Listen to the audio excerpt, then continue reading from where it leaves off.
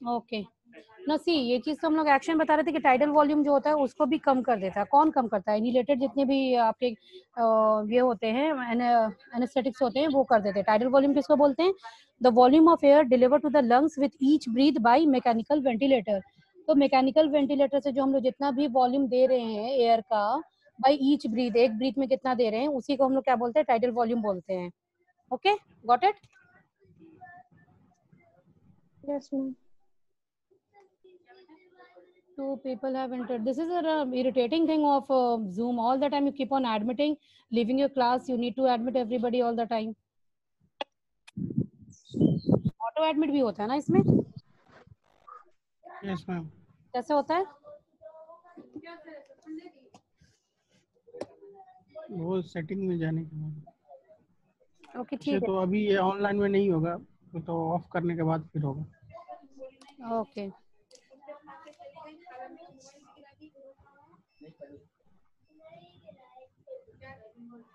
ठीक है। तो इट बिकम्स और क्या बोल रहा है? And also the mucociliary function mucociliary function कोई वेटिंग में है? अब रहने दीजिए। नवाब चाँद। म्यूकोसिलरी फ़ंक्शन किसको बोलते हैं? पता है?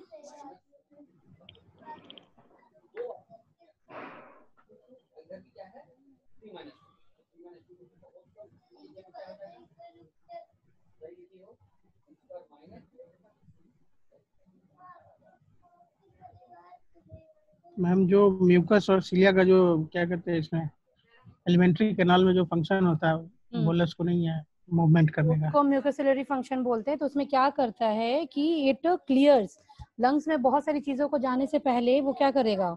क्लियर कर देगा ठीक है? उसको प्रोटेक्शन लेयर भी एज अ प्रोटेक्शन वो काम करता है। सेल्फ क्लियरिंग मैकेनिज्म होता है म्यूकोसिलरी इसका जब हम लोग सांस लेते हैं तो लंग्स के टिश्यू में जाने से पहले बहुत सारी इम्प्योरिटीज भी हम लोग साथ में लेते हैं तो उसको क्या करता है वो क्लियर कर देता है ठीक है Okay. Now see what is this? What is this? The four major tissue compartments determine the time and the course of anesthesia, anesthetic uptake. Uptake हम लोग कैसे करते हैं? This is the important thing which you need to know. Brain, heart, liver, kidney ये सब क्या होते हैं? Profuse organs होते हैं.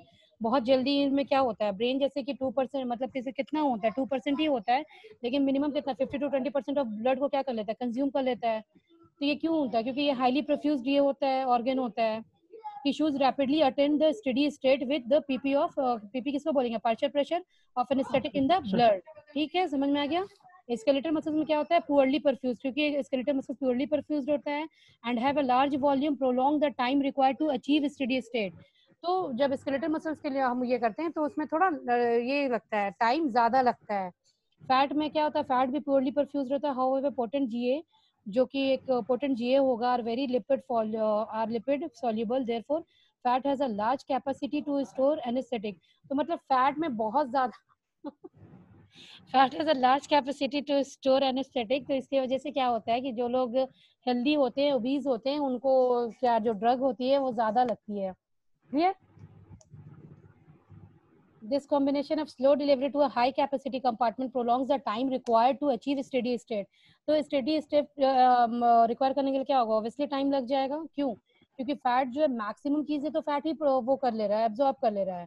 तो उसके बाद ही तो वो फिर डिफरेंट जगह पे वो जा पाएगा ना। तो पहले फैट का एब्जॉर्प्शन पूरा कंप्लीट होगा। जब फैट का सेचुरेशन आ जाएगा तो उसके बाद ही फिर वो स्टडी लेवल पे जाके अचीव कर पाएगा ब्रेन के। इसको clear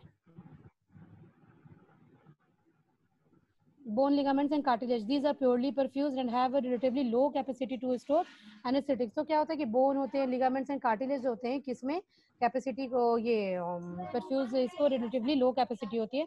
इसलिए हड्डी का जो ऑपरेशन होता है, जिसमें टाइम लगता है तो उसमें एनेस्थीसिया भी हम लोग को ज़्यादा देना पड़ता है, क्योंकि बोन पे काम हो रहा होता है, इसीलिए। समझ में आ गया? Ghazala Siddiqui is in the waiting room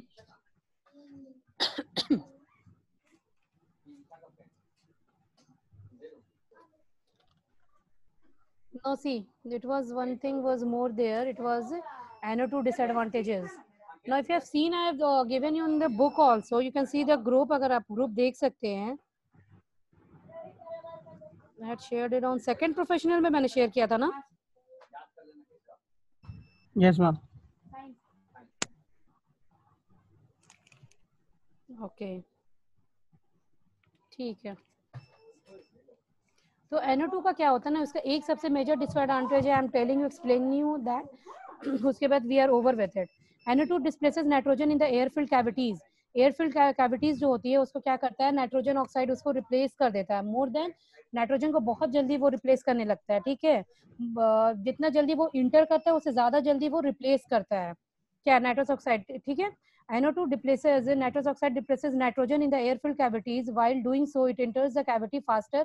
Even it before enter the uh, even it before nitrogen escapes. Nitrogen निकल भी नहीं पाता है उससे ज़्यादा जल्दी ये cavities में fill होने लगता है nitrous oxide. Clear है? तो which leads to pneumothorax and air embolus. तो ये जो उसका इंटर करने की कैपेसिटी है फास्ट क्यों क्यों है वाई इट इज़ क्योंकि क्या होता है? नाइट्रोजन का क्या ये ज़्यादा होता है? डिफ्यूजन क्या होता है नाइट्रोजन का? रैपिड होता है? रैपिड होता है yes ma'am that is why तो जो कैविटीज होती है उसमें नाइट्रोजन निकल भी नहीं पाता है प्रॉपरली और ताकि उसमें और ज़्यादा नाइट्रोजन आते चला जाता है ठीक है? तो दैट कॉजेज क्या हो करता है? वो न्यूमोथोरैक्स कॉज करता है। न्यूमोथोरैक्स इसको बोलते हैं a condition which as a collapse lungs collapse lung को ही हम लोग न्यूमोथोरैक्स बोलते हैं ठीक है?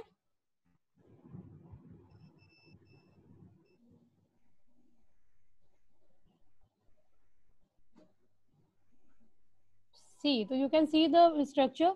Uh, it is a normal lung and left side it is a collapsed lung. आप देख रहे हैं कि साइज़ में ये छोटा हो गया कोलैप्स कर गया है। तो ऑब्वियसली जब लंग्स ही कोलैप्स कर जाएगा तो सर्वाइवल चांसेस पेशेंट के कितना रहेंगे? ज़्यादा रहेगा या कम रहेगा? कम रहेगा। ज़्यादा कम तो तब रहेगा जब पेशेंट के चांसेस सर्वाइवल के रहेंगे। कोलैप्स लंग में ये वाइटल ऑर्गन है ना? हार्ट अटैक होता है रीनल फेलियर होता है लंग्स कोलैप्स होता है तो क्या होता है? ब्रेन कोलैप्स हो जाता है। तो सर्वाइवल चांसेस क्या होते हैं? नील होते हैं आपके, ठीक है? तो यही चीज़ होती है कि जो एयर फिल्ड कैविटीज जो होती है, जिसमें नाइट्रोजन बहुत ज़्यादा आके क्या होने लगता है? सेटल करने लगता है, ठीक है? तो उस तरह के पेशेंट में क्या हम लोग बोलते हैं कि एनोटो अगर इस पेशेंट का जिस, इस तरह से कंडीशन है, जिसका लंग्स ऑलरेडी पहले से कॉम्प्रोमाइज है, उसमें हम लोग एनोटू का इनहेलेशन नहीं करते हैं। ठीक है? Clear this was the only one major disadvantage और भी है कि पुअर मसल रिलैक्सेंट है should be use with other agents halothane का भी अपना है कि वो आपका इट कॉजेज सीवियर डिप्रेसेंट तो हेलोथिन का ये प्रॉब्लम है. दैट इज़ द रीजन कि हम लोग दोनों चीज़ों को साथ में ही यूज़ करते हैं. हेलोथिन को भी एंड नाइट्रस ऑक्साइड को भी. See the basis for the combination of halothane and nitrous oxide क्या क्या बेसिस होगा? तो द एमएससी एमएससी जो होता है वो मैंने आपको बताया था what is MSC minimum? Con uh, alveolar concentration. Alveolar concentration. Minimum alveolar concentration आपको पता है किसको बोलते हैं? किस कंडीशन को बोलते हैं? जिस कंडीशन में? पेशेंट इज़ अनकॉन्शियस इनफ वो इतना भर बेहोश है कि वो सर्जरी अपनी स्टार्ट करवा सके ठीक है? ताकि हम लोग उसको स्किन पे इंसिजन दे सके। उसी को हम लोग बोलते हैं fifty percent of the thing तो ये एमएससी क्या होता है? हेलोथिन का वो ज़्यादा होता है। The concentration of halothane is required to produce NSCCI is required when NO2 because of the second gas effect तो इसलिए सेकंड NO2 के साथ ही साथ ये हेलोथिन भी आ जाता है। इसलिए ये लो क्वांटिटी में जाता है। ये मैंने आपको पहले भी बताया था अभी। So concentration of the halothin required is reduced and the side effects of halothin that is hypotension and respiratory depression is reduced. तो जब कम क्वांटिटी uh, में हेलोथिन अगर हमारे इसमें आती है बॉडी में आएगा तो ऑब्वियसली फिर क्या होगा? उसका जो इफेक्ट्स भी है वो भी कम हो जाएगा। क्लियर यस मैम तो because of reduction in the doses the recovery will be faster तो जब हेलोथिन कम डोज में देंगे तो उसका रिकवरी भी क्या होगा? जल्दी हो जाएगा। Halothane is a potent anaesthetic हेरोलिन क्या होता है? एक पोटेंट एनेस्थेटिक होता है एंड पुअर एनर्जेटिक ये मैंने आपको अभी आज जब कंपेयर करी थी तब भी मैंने बताया था। और whereas NO2 is good analgesic and poor anaesthetic NO2 क्या होता है? कि अच्छा एनर्जेसिक होता है लेकिन वो एनेस्थेटिक इफ़ेक्ट जो होता है उसका वो कम होता है। दैट इज़ द रीजन कि we always use NO2 with halothane clear है? And that gives a good anaesthesia एक अच्छा एंड आइडियल एनेस्थीसिया का काम करता है। दोनों को अगर हम लोग मिला के अगर काम करते हैं तब ठीक है? तो वो आपने वीडियो में भी देखा था कि डिफ्यूजन हाइपोक्सिया में हम लोग क्या करते हैं कि कंसंट्रेशन जो होता है वो हम लोग लगातार एडमिनिस्टर करते हैं O2 को।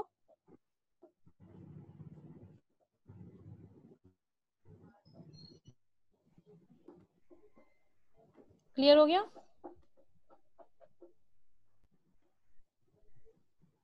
Now will come on the IVs IVs में हम लोग क्या करते हैं? इंट्रा जो वेनस होता है आईवीज किसको बोलते हैं? इंट्रा वेनस को बोलेंगे? Yes ma'am okay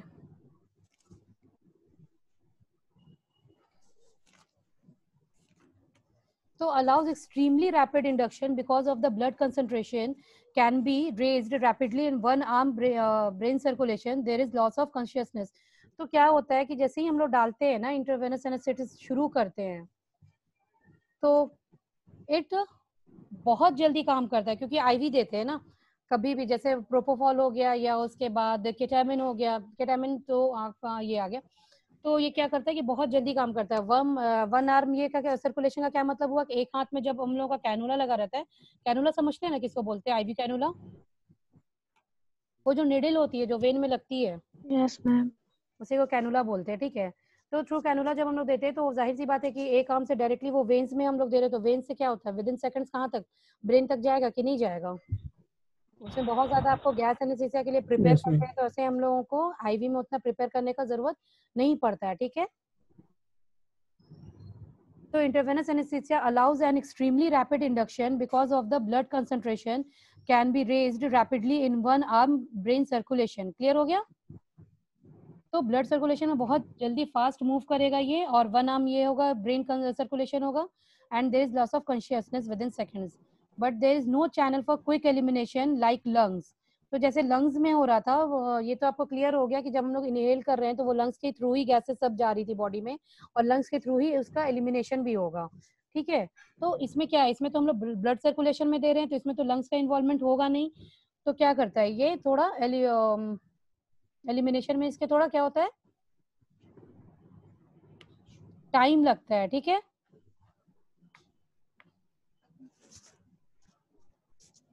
तो तो इसमें हम लोग क्या करते हैं कि दोनों चीज़ों को मिला के देते हैं, क्योंकि एनेस्थीसिया निकलने में इसमें टाइम लगेगा एलिमिनेशन में। तो आईवी देते हैं हम लोग ताकि बहुत जल्दी पेशेंट बेहोश हो जाए और उसके बाद मेंटेनेंस के लिए हम लोग इनहेलेशन एनेस्थेटिक्स देते हैं। क्लियर हो गया? ये मैंने आपको कल भी बताया था कि डायरेक्टली हम लोग आपको ये जो भी है हेलोथिन है, वो सब डायरेक्टली नहीं देते हैं। पहले प्रोपोफॉल देंगे या उसके बाद फिर और भी कोई भी केटामिन है केटामिन दे देंगे, उसके बाद ही पेशेंट पे ईथर यूज़ करेंगे। डायरेक्टली हम लोग ईथर यूज़ नहीं करते, ठीक है? तो ईथर क्यों यूज़ करेंगे? For maintaining of anaesthesia anaesthesia को मेंटेन करने के लिए। उसके जब हम लोग को रिवर्स करना होगा पेशेंट को होश में लाना होगा तो सबसे पहले ईथर बंद करेंगे।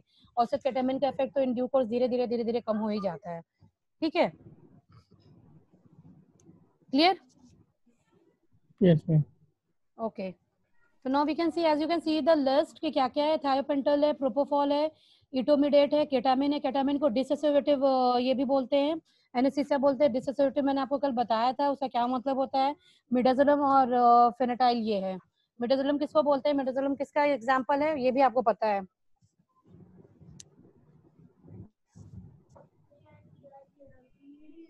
एनीवन हु नोज़ कि मिडाजोलम किसका एग्जांपल है?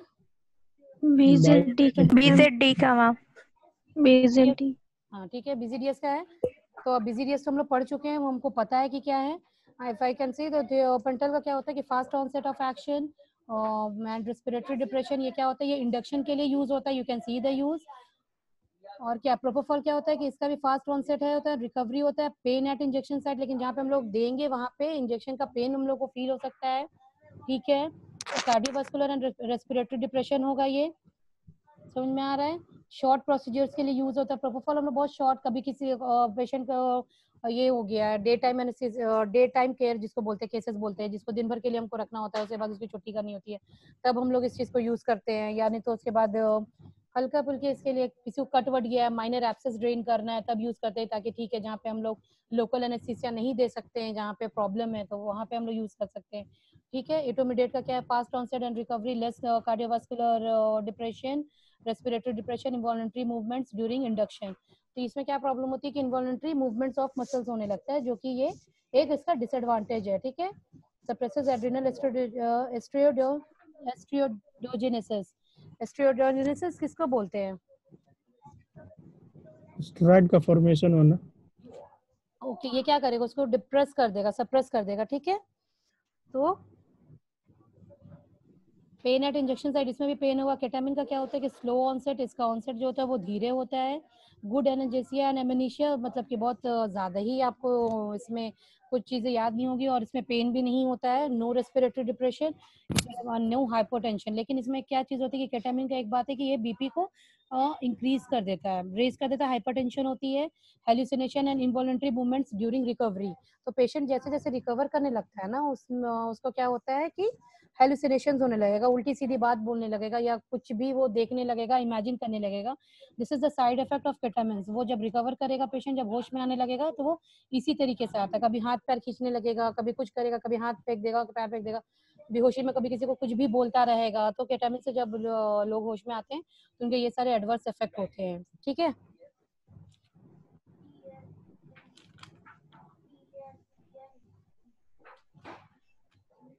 क्लियर मेटाजोलम का क्या small set and recovery and less CV cardiovascular and respiratory depression ये थोड़ा कम करेगा। फ्रंटल का क्या slow onset and recovery profound analgesia droperidol का क्या होता है कि ये प्रोफाउंड एनाल्जेसिया होता है। And what are the uses you can see you for induction particularly in the patient with low cardiovascular nerves में हम लोग इंटरमीडिएट देते हैं। Short procedures particularly in children जैसे मैंने बताया था कि मोस्टली जब हम लोग जैसे कि सरकम सीज़न यूज़ करते हैं एनाल्जेसिया analgesia सर्कमसीजन में हम लोग क्या करते हैं? केटामिन देते हैं, छोटे बच्चे पे केटामिन सेफ़ होता है, इसलिए देते हैं, क्योंकि बच्चों में बीपी की प्रॉब्लम होती नहीं है कि वो बहुत ज़्यादा हाइपरटेंशन हो जाएगा। और बच्चे जल्दी बहुत होश में आ जाते हैं, लेकिन वही होता है कि बहुत उल्टा सीधा बकेंगे या बहुत ज़्यादा कुछ भी कर सकते हैं। जैसे कि किसी शराबी को देखिए, जब वो होश में नहीं रहता है तो he can do anything road पे चल रहा है, अपने आप अचानक अगर उसको अच्छा लगेगा तो गाना गाते हुए चला जाएगा या कभी रोने लगेगा, उससे बात करने लगेगा, चिल्लाने लगेगा देर मेनी सिम्टम्स और क्या क्या कर सकता है? देखा है किसी ने? A person who is drunk इतना ज़्यादा ड्रंक है कि जो अपना होश खो बैठे तो वो क्या क्या करते हैं? इसे रिसर्च करने वाली बात नहीं कॉमन सी बात है बहुत लोगों ने देखा होगा ऑब्ज़र्व किया होगा। मैम देखिए। देखी है? तो क्या देखा था? कब देखा था? दिन में या रात में? दिन में ही देखे हैं। विलेजेस में भी लोग ज़्यादा दिखेंगे ताड़ी वाड़ी पी के जहाँ तहाँ पड़े हुए हैं कुछ नहीं है। ठीक है तो केटामिन का भी वही हाल रहता है, कुछ कि आप डिसोसिएट हो जाते हैं इन द सेंस जब आप होश में आने लगते हैं तो अपने आप को आप according to the environment associate नहीं कर पाते कि आपको कैसे बिहेव करना है। क्लियर हो गया? मेडाजोलम हम लोग कब देते हैं? जैसे कि इंडोस्कोपी करना होता है, तब मेडाजोलम दे देते हैं। फ्रैक्चर फ्रैक्शन का रिडक्शन करना हो, कोई भी फ्रैक्शन है, उसको ठीक करना होता है तो उसके बाद उसमें हम लोग यूज़ करते हैं। Clear Yes, ma'am.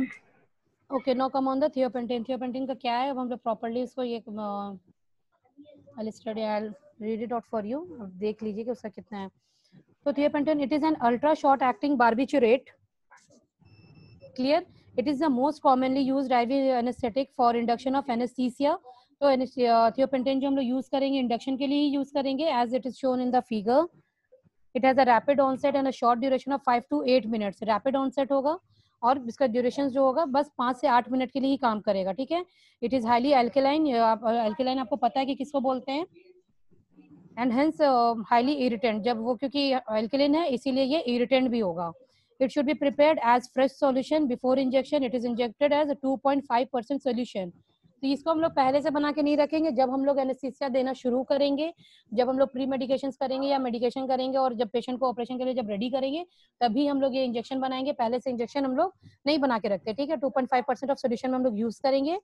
After a single IV dose it rapidly enters the highly perfused organs like brain liver and heart and produces anaesthesia ठीक है? समझ में आ गया? एक सिंगल आईवी डोज देते हैं, इसका जो डोज होगा वो सिंगल होगा। हम लोग इसको बार बार रिपीट नहीं करेंगे। क्लियर रिपीट तब करेंगे जब देखेंगे कि सर्जरी प्रोलॉन्ग हो रही है, जितना रिक्वायर्ड टाइम था, उस टाइम से अगर वो काम नहीं कर पा रहा है और पेशेंट को और मेंटेनेंस डोज चाहिए तो फिर से इसको हम लोग रिपीट कर सकते हैं। क्योंकि ये कितना शॉर्ट एक्टिंग होता है ना, सिर्फ़ पाँच से आठ मिनट के लिए ही काम करता है, लेकिन सर्जरी अगर उससे ज़्यादा की होगी तो क्या करना पड़ेगा? डोज फिर रिपीट करना पड़ेगा। रिपीट डोज करेंगे तो उसके बाद पेशेंट का ये बार बार मैं इसलिए बोल रही हूँ ताकि आप लोगों को भी ये चीज़ पता हो। ऐसे ही जाके किसी पेशेंट को विटामिन दे के आप नहीं स्टार्ट कर सकते, उसका रेस्पिरेशन देखना बहुत ज़रूरी होता है कि ऑक्सीजन जो है, उसका सेचुरेशन जो है वो स्टेबल है कि नहीं है। ठीक है? बीपी यूरिन आउटपुट एंड आपका रेस्पिरेशन ये तीनों चीज़ जो होती है, ये वाइटल मॉनिटरिंग ज़रूरी होती है। क्लियर है yes ma'am in the blood and then to the less perfuse उसके बाद क्या होता है कि सबसे पहले तो rapidly diffuses in the heart heart हो गया ब्रेन हो गया किडनी हो गया क्योंकि ये सारे परफ्यूज्ड आपके ये हैं लीवर हो गया। उसके बाद कहाँ जाएगा? लेस परफ्यूज्ड ऑर्गन्स में जाएगा। लेस परफ्यूज्ड ऑर्गन आपको पता है स्केलेटल मसल्स हो गए बोन हो गया तो फिर ये वहाँ पर जाता है, ठीक है? And then less perfused organs like skeletal muscles and adipose tissues this तो क्या बोल रहे repeated dose will result in accumulation and delayed recovery क्योंकि हमको पता है कि एडिपोज टिश्यू में ये बहुत रिटेन कर जाता है तो जैसे जैसे ये क्या करेंगे एडिपोज टिश्यू में अगर रिपीट करेंगे डोज तो एडिपो एडिपोज टिश्यू में क्या होगा एक्यूमुलेट करता जाएगा जिसकी वजह से क्या होगी रिकवरी हम लोगों की स्लो हो जाएगी ठीक है clear Now comes on the uses. Thiopentine sodium is used for the induction of anesthesia. It is uh, occasionally used as anticonvulsant in the cases controlled by the is not controlled by the other drugs. Anticonvulsants हम लोग पढ़े हैं कि midazolam हो गया उसको हम लोग एंटीकन्वल्सेंट में यूज़ करते हैं जिनते भी बिज़ी डीएस हैं या बारबिचुरेट्स हैं उनको हम लोग यूज़ करते हैं ये आपको पता है। तो क्या बोल रहा है कि जब वहाँ पे जब यहाँ पे बिज़ी डीएस या बारबिचुरेट्स काम आना बंद कर दे तो वहाँ पे भी हम लोग कभी कभी थायोपेंटोल को यूज़ करते हैं ठीक है? एडवांटेजेस क्या है?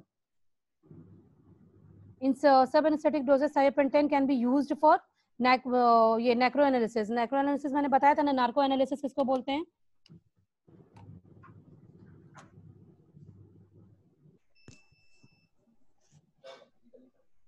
सब एनेस्थीसिया किसको बोलते हैं?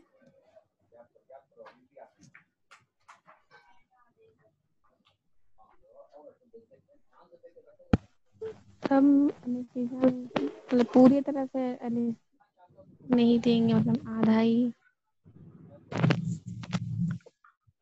सब एनेस्थीसिया मतलब ये होता है कि पेशेंट आपका is not in the complete static state study state में नहीं होता है वो इतना उसको कर दिया जाता है कि वो अपने अनकॉन्शियस माइंड तक जो भी जा सके और उस उस लेवल पे हम लोग जा सके उसके अनकॉन्शियस माइंड को एक्टिवेट कर सके ठीक है? कॉन्शियस माइंड में क्या होता है आप जो भी देख रहे होते हैं सोच समझ के ही बोल रहे होते हैं अकॉर्डिंग टू योर इन्वायरमेंट लेकिन अनकॉन्शियस माइंड क्या होता है कि आपको वो it doesn't relate with the environment environment से आपको रिलेट करके नहीं बोलता, जो बातें आपके दिमाग में है the way you think the way you see the way you perceive तो वही चीज़ें निकलती हैं। तो नार्को एनालिसिस का मतलब क्या होता है कि सब एनेस्थेटिक डोज इतना डोज नहीं दे देते कि पेशेंट पूरा उसका माइंड एकदम स्टडी हो जाए, या माइंड उसका काम नहीं करे। इतना होता है कि वो बात करने के हालत में होता है, लेकिन उसको वो नुतगी रहती है, ठीक है? वो ड्रॉजीनेस फील करेगा। ये मैंने पहले भी आप लोगों को एक्सप्लेन किया था। इट्स वेरी डिसहार्टनिंग कि मैं इतना एक्सप्लेन करने के बाद वापस से वही सारी चीज़ें एक्सप्लेन करूँ। Try to keep this things in mind या एक बार रिवाइज कर लिया कीजिए तो पता चल जाएगा।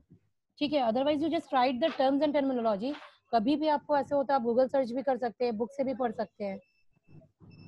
ठीक है? तो नार्को एनालिसिस में भी इसका काम कर थियोपेंटेन का ही यूज़ होता है।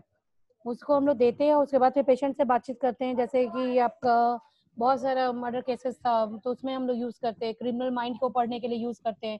निठारी निठारी हत्याकांड के बारे में सुना होगा आप लोगों ने। उसमें हम लोगों ने नार्को एनालिसिस के लिए सीबीआई ने परमिशन मांगी थी कि नार्को एनालिसिस करना है। क्यों?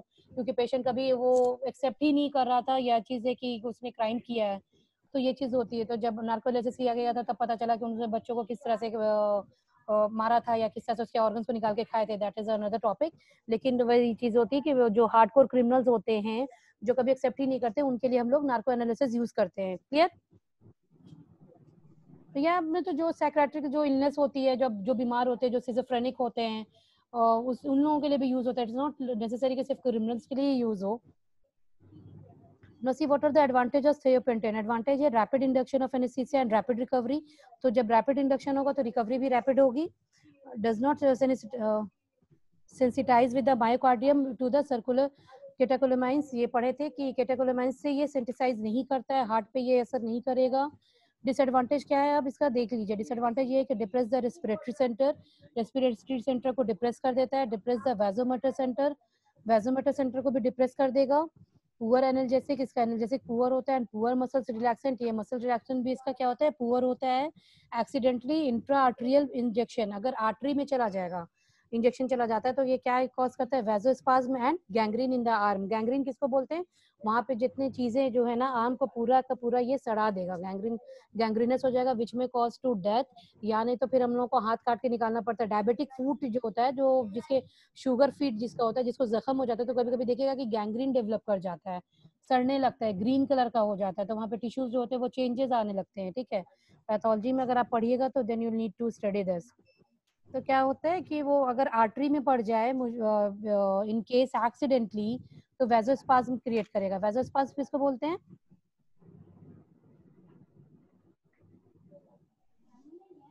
Sudden construction of blood vessels blood vessels के सडन कंस्ट्रक्शन को ही हम लोग वेजोपाम बोलेंगे। Okay got it now come the propofol propofol का क्या है कि ये Propofol is a popular rapid acting IV anesthetic best suited for the outpatients surgical procedures. Outpatients का वही मतलब होता है जो डे केस है, जो आज ही आया, आज ही एडमिट हुआ, आज ही उसकी सर्जरी हुई और आज ही वो डिस्चार्ज हो गया एक ही दिन में। जैसे डीएनई या डीएनसी ये सब चीज़ें बहुत शॉर्ट टर्म के लिए होती है। आधा घंटा का प्रोसेस होता है तो उसमें आपको अगर पेशेंट को बेहोश करना होता है, ये और भी बहुत सारे छोटे छोटे केसेस होते हैं। उसके लिए अगर किसी पेशेंट का नेल एक्सट्रैक्ट किए हैं या टूथ एक्सट्रैक्ट किया है, जिसमें एक दिन का ही सिर्फ़ एडमिनिस्ट्रेशन है, उसके बाद आपको भेज देना है। तो प्रोपोफॉल को यूज़ करते हैं। It is a rapid acting rapid acting मतलब कितना रैपिड एक्टिंग है मालूम है? Thirty seconds within thirty seconds you will get its result तो पेशेंट स्टडी स्टेट में पहुँच जाता है, ठीक है? तो सिर्फ़ प्रोपोफॉल नहीं दिया जाता है। तो ये क्यों किया जाता है? पेशेंट को काम रखने के लिए। तो सबसे पहले अगर हम लोग ईथर स्टार्ट कर रहे हैं या हेलोथिन स्टार्ट कर रहे हैं तो एनेस्थेटिक अगर हम लोग इनहेलेशन दे रहे हैं प्रिपेयर कर रहे हैं इनहेलेशन के लिए तो पेशेंट को पहले हम लोग प्रोपोफॉल देते हैं। इसका भी ना वो आना शुरू हो गया। वार्निंग्स आनी शुरू हो गई। सुन रहे हैं ना? यस मैम यस मैम ठीक है induction for anaesthesia and recovery rate is rapid और चार मिनट के बाद ना रिकवरी भी हो जाती है। फोर मिनट्स में थर्टी सेकंड में इंडक्शन में भी होता है फोर मिनट्स में रिकवरी भी होने लगती है। तो चार मिनट में तो ऐसा कोई सर्जरी है नहीं जो पूरा हो जाएगा। तो दैट इज़ द रीजन कि फिर हम लोग इनहेलेशन देते हैं मतलब इंडक्शन करते हैं इंजेक्शन देते हैं पहले आईवी देते हैं उसके बाद फिर इनहेल वाले या हेलोजिनेटेड गैस पे या लिक्विड पे या इनहेलेशन एनेस्थेटिक पे फिर हम लोग स्विच कर जाते हैं। क्लियर हो गया? इसमें जो रेसिडुअल सिम्टम्स आर लेस इसमें जैसे टिश्यू में रेसिड्यू रह जाएगा, इसमें रेसिड्यूल्स नहीं होते। इसमें जो वो सिम्टम्स होंगे वो कम होंगे। Post operative nausea vomiting are rare इसमें नोशिया वोमिटिंग नहीं होता है। No irritation of air passages air passages में कोई इरिटेशन भी नहीं होती है। और क्या है? Can can be use for both induction and maintenance of anaesthesia फिर क्या करते हैं? Can be use for both induction भी इंडक्शन के लिए हम लोग इसको यूज़ करेंगे और मेंटेनेंस के लिए भी हम लोग यूज़ करेंगे। सपोज़ दैट की सर्जरी प्रोलॉन्ग हो रही है और हम लोग एनेस्थीसिया दे रहे हैं तो कभी कभी ऐसा होता है कि हम लोग एनओ देना बंद कर दिए, ठीक है? तो जब नाइट्रस ऑक्साइड देना बंद कर देते हैं तो क्या करते हैं कि प्रोपोफॉल पे प्रोपोफॉल हम लोग फिर देने लगते हैं। हर पाँच मिनट में थोड़ा थोड़ा थोड़ा थोड़ा डोज देते रहते हैं ताकि एनेस्थेटिक इफ़ेक्ट इसमें काम करे, ठीक है?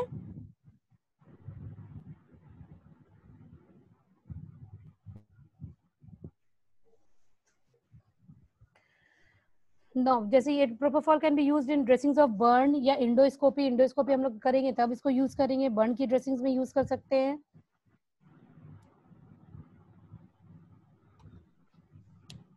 तो ऑलरेडी इट इज़ रिटर्न कि शॉर्ट प्रोसीड्यूर्स होता है can be use for the both induction and maintenance propofol का फुल फॉर्म क्या होता है? Popular rapid acting preferred for surgeries procedures causes fall in BP तो ये थोड़ा फॉल इन बीपी प्रोपोफॉल का होता है कि बीपी फॉल कराता है। And it can be safely use in pregnant female pregnant pregnant female uh, uh, जो जो प्रेगनेंसी जिनको रहती है, उसमें हम लोग प्रोपोफॉल यूज़ कर सकते हैं इट इज़ सेफ़ ठीक है? क्लियर हो गया?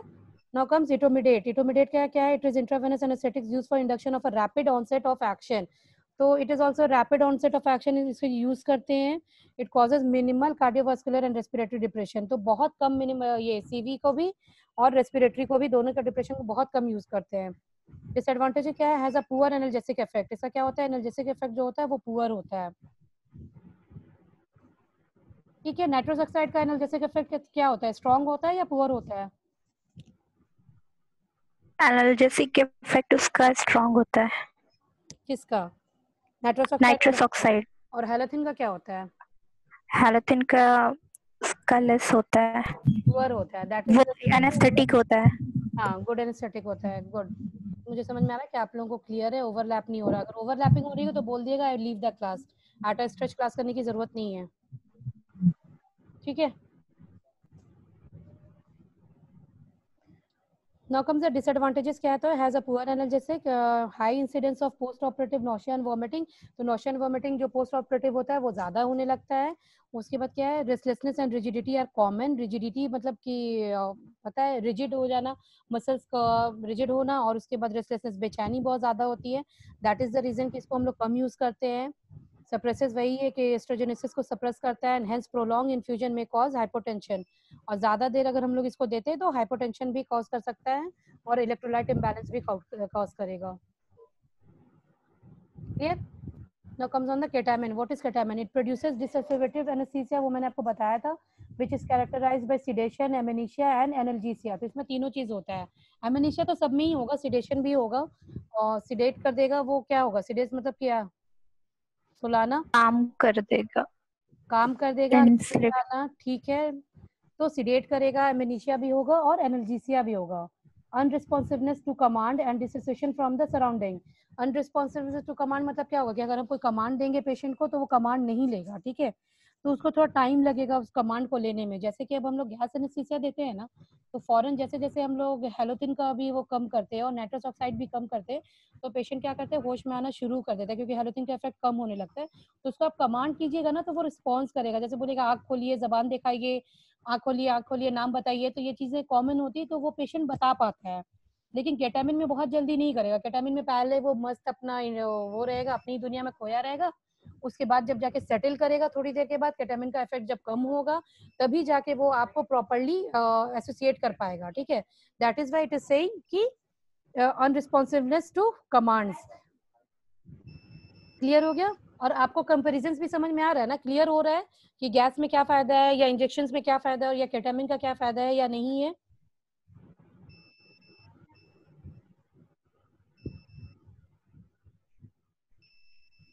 Is it clear to you all? yes ma'am Okay.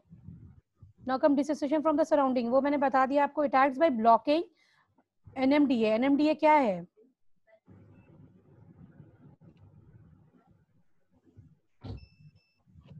जब मैं पहले एनेस्थेटिस पढ़ा रही थी तो NMDA क्या है? What is NMDA? N methyl D aspartate हाँ तो वो है क्या? एन मिथाइल डीएस्पिरेटिक एसिड है क्या? रिसेप्टर है? गाबा क्या है? रिसेप्टर है? yes ma'am. एनएमडीए क्या रिसेप्टर है। किसका रिसेप्टर है? ग्लूटामेट एक्साइट्री इसका रिसेप्टर है? ठीक है।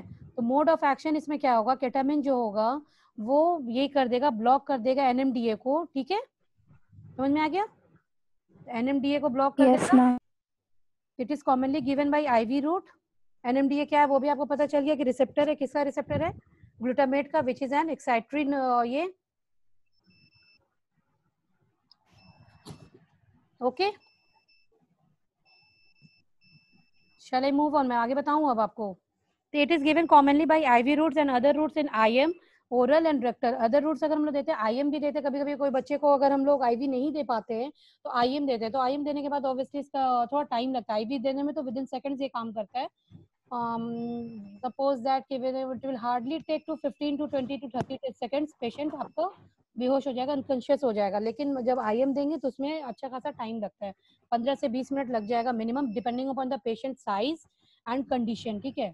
ये एक ज़रूरी नहीं कि एक पेशेंट को आईएम देने पे बेहोश करने में पंद्रह मिनट लग रहा है तो दूसरे पेशेंट को भी उतना ही लगेगा। वो पेशेंट के अपने इनबिल्ड पे भी डिपेंड करेगा। ठीक है? तो ketamine is the only IV एक यही बस एक आईवी एनेस्थेटिक है that has analgesic effect and causes sympathetic stimulation sympathetic stimulation किसको कहते हैं? वही बहुत चीखना, चिल्लाना, हद से ज़्यादा बोलना, जो होता है गूजबम्स आना गूजबम्स समझते हैं ना? जो बोलते हैं, रोआ का खड़ा हो जाना तो वो गूजबम्स आता है कभी कभी केटामिन का वो इफ़ेक्ट होता है। आप देखिए कभी बच्चा जब होश में आने लगेगा तो ज़्यादा चिल्लाने लगेगा, बिगड़ने लगेगा, या उसका पूरा जो रोआ होता है ना, वो खड़ा हो जाता है। तो these are the condition of sympathetic stimulation ठीक है? Heart rate BP cardiac output and skeletal muscle tones are usually increase तो इसमें क्या होगा कि कार्डियक आउटपुट भी होगा बीपी होगा हार्ट रेट होगा, सब कुछ इंक्रीज हो जाता है। Uses for operation on the heart neck and face तो केटामिन हम लोग कहाँ कहाँ पे यूज़ करते हैं? जब ऑपरेशन करना होता है हेड में नेक में या फेस में। In children for minor minor surgical या डायग्नोस्टिक प्रोसीड्योर्स तो केटामिन हम लोग डीएनए डीएनसी जब भी करते तभी केटामिन देते कभी कभी इनफैक्ट जब ईथर अवेलेबल नहीं होता है या गैस एनेस्थीसिया अवेलेबल नहीं होता है तो केटामिन में हम लोग सिजेरियन भी कर देते हैं। ऑब्वियसली उसका डोज बढ़ा के ही करेंगे कि- किस डोज में देना है। पेशेंट को देख के ही देना पड़ता है। When patient is not suitable for gas anaesthesia gas anaesthesia इसलिए नहीं देते क्योंकि प्लेसेंटल बैरियर होता है। तो बच्चे पे भी उसको इफ़ेक्ट होगा। दैट इज़ द रीजन इसलिए बोला केटामिन में भी होता है, लेकिन क्या कर सकते हैं अब? कभी कभी कि स्पाइनल आप नहीं दे सकते कंट्राइंडिकेशन स्पाइनल देने से बीपी और घट जाता है कि- और केटामिन का क्या है? केटामिन कंट्रा ये इंडिकेशन ये है कि बीपी को बढ़ाता है तो ऑब्वियसली उस टाइम हम लोग क्या यूज़ करेंगे? केटामिन यूज़ करेंगे। लेकिन बहुत ज़्यादा अगर बीपी बढ़ा हुआ लेकिन केटामिन भी यूज़ करना बहुत ज़्यादा सेफ़ नहीं होता है, क्योंकि प्लेसेंटल बैरियर को ये भी क्रॉस करता है और बेबी बहुत एक्टिव नहीं निकलता है। हम माँ भी सोई रहेगी, मालूम है कि बच्चा भी थोड़ा सिडेटेड निकलेगा, ठीक है? दैट इज़ द रीजन कि सीजरिंग के बाद ही हम लोग अ, ज़्यादातर स्पाइनल यूज़ करते हैं सिजेरियन में। क्लियर